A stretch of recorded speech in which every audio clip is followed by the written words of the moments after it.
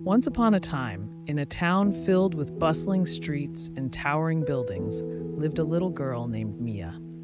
Mia had two dogs, a golden retriever named Goldie and a small pug named Puggy.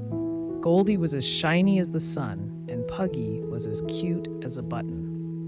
Both were the most loyal friends Mia had ever had. Every day, Mia would play with Goldie and Puggy in her backyard.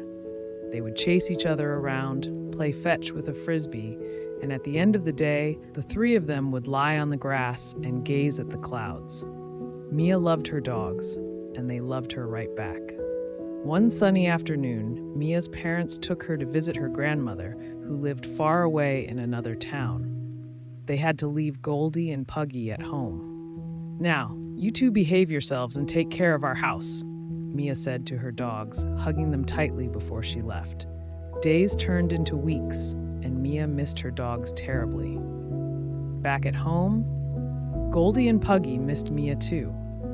They would sit by the gate every day, waiting for Mia's return. They protected the house from strangers and even chased away a mischievous cat tried to sneak in. One day, a wicked thief saw that Mia's house was empty.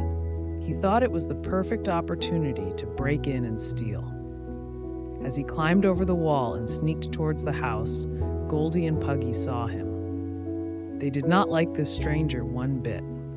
Goldie started barking loudly, and Puggy joined in. They charged at the thief, who was taken aback by the sudden attack. Goldie bit his leg, and Puggy yanked at his pants. The thief tried to shake them off, but the loyal dogs didn't let go. Hearing the commotion, the neighbors came out and saw the thief. They quickly called the police, who arrived in no time.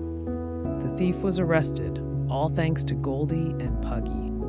Everyone in the neighborhood hailed them as heroes, and they wagged their tails in joy. When Mia and her parents returned, they were so proud of Goldie and Puggy. Mia hugged them tight and said, You are the best dogs in the world.